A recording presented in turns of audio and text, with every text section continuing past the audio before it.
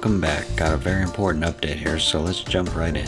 We're going to head back over to Callville Bay, site of the second findings, where we can now say for the first time ever, a Lake Mead secret case has been solved. Remains number 2 near Callville Bay have been positively identified using DNA evidence as 42 year old Thomas Erndt. We're going to hear what happened the day Thomas went missing from his son, now 31, who was aboard the boat with him at the time. It was August 2nd, 2002, and Thomas had set out with his family in their boat from Callville Bay for a day of fun on the water. His son Tom was only 10 years old at the time. Tom tells the moment he remembers his dad decided to go swimming off the boat during the trip in a recent interview. My dad just decided, you know what? Why not? So he took off his shirt, he jumps in the water. He also recalls how his dad was a prankster, and when he first started calling for help, they weren't sure if he was joking around or not. He was a big jokester, so he would always mess around with us. But next thing we know, um, he was basically screaming for help. Within moments, Thomas slipped under the waterline and everything went silent again. Sadly, he never resurfaced. Attempts were made to locate and rescue Thomas, all to no avail. Now, two decades later, Thomas has finally been found once again, thanks in large part to Tom and his sister. They both provided the DNA samples to the Clark County coroner, which were used to positively ID the remains. We hope that Thomas may now be laid to rest properly and that his remaining family can rest a bit easier with the closure. You may recall the gentleman, Todd Collard, from our second update, who also lost his father near Callville Bay at only three years old. Todd was hopeful that the DNA results of remains number two might match his father, who was ejected and drowned in a boating accident back in 1958. Though this case did not end up bringing the answers that Todd wanted, we hold out hope that his father may still be found. Now we head out of Callville Bay and back over to Hemenway Harbor, where the first washed up barrel was found along the receding water line there.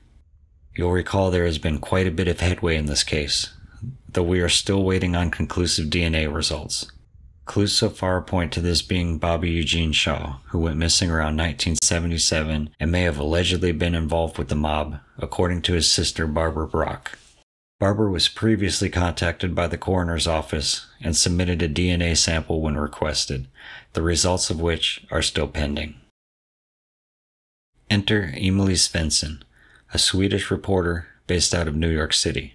She came to Lake Mead in order to cover the odd findings in drought for Swedish publication Aftonbladet. Little did she know that her and her photographer, Johanna Searing, would become part of the story themselves. While looking around the same area the barrel was found, Emelie had come upon an oddly familiar looking outline in the dried up mud. Kicking around the mud a bit and then taking a closer look, she quickly realized it was a handgun an older Beretta 9mm to be exact, one that authorities have now speculated may be directly involved with the barrel found nearby. We sort of stumbled across this, con- the contours of a gun, and uh, it was sort of buried in, in the sand. The Beretta was found 100 meters from where the unfortunate gunshot victim was originally discovered. It had no magazine and was filled with rust and debris. The Beretta was promptly collected by Las Vegas homicide detectives and is undergoing further analysis. Coincidentally enough, police said they were in the same area with metal detectors just a few days earlier, an activity that is strictly forbidden to the public inside national parks, though they reported they did not find anything of interest.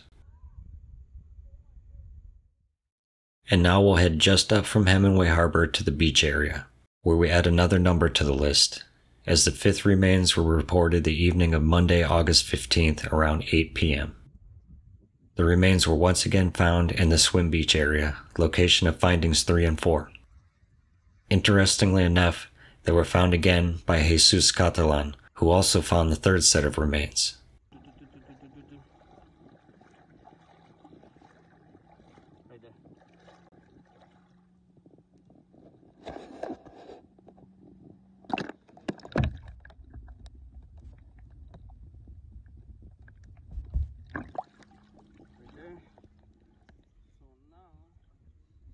The dive team with Las Vegas Metro was called in and they worked to investigate and remove the remains the following day.